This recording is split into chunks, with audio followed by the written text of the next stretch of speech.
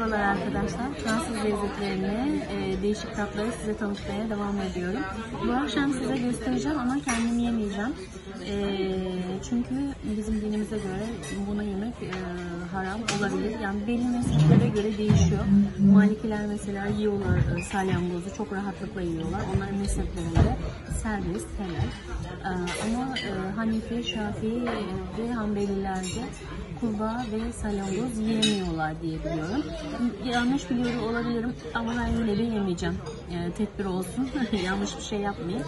E, kurbağa biliyorsunuz e, böyle dışarıda gördüğümüz zaman bile birazcık böyle tiksindiğimiz yani böyle birazcık çekindiğimiz bir hayvan. Fransızlar bunu e,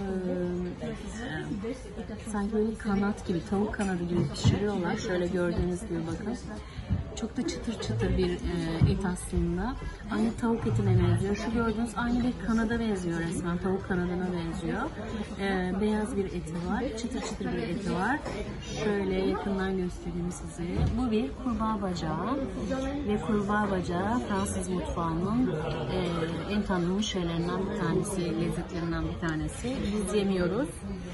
E, ve öbür bir Fransızlara ait e, lezzetten bahsedeyim. Bu da salyangoz. E, Müslüman mahallesinde salyangoz mu satıyorsun sen derler. Ama ben tanıtmak için size şimdi gösteriyorum. E, en azından bilelim yemesek de ne nasıl, nerede, nasıl oluyor bilelim diye düşünüyorum ben.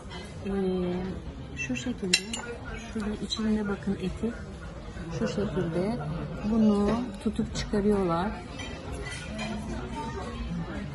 Aslında bunun e, özel çubukları da var bazı restoranlarda. Şöyle bakın. Sümükümsü bir şey de çıktı içinden birazcık. Aslında çok çok çok yararlı e, işte kremlerini falan yapıyorlar aslında. Ama bize e, servis bırakılmamış. Vardır bir sebebi diye düşünüyorum. Şöyle e, yiyenler çok lezzetli olduğunu söylüyorlar. Yumuşak bir tadının olduğunu söylüyorlar. E, bu kurbağa bacağı aynı tavuk etine benziyormuş. E, çıtır çıtır beyaz bir eti var. Şöyle şu kısmı yenmiyor. Bakın şurası sert zaten. Burası yenmiyor ama şu yumuşak kısmı e, yeniyor.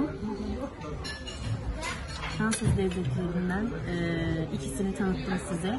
Daha tanıtmaya devam edeceğim. Aklıma geldikçe yani işte ne bileyim Türkiye'de olmayan, ne bileyim başka Avrupa ülkelerinde olmayıp da Fransa'da olan şeyleri size tanıtmaya devam edeceğim.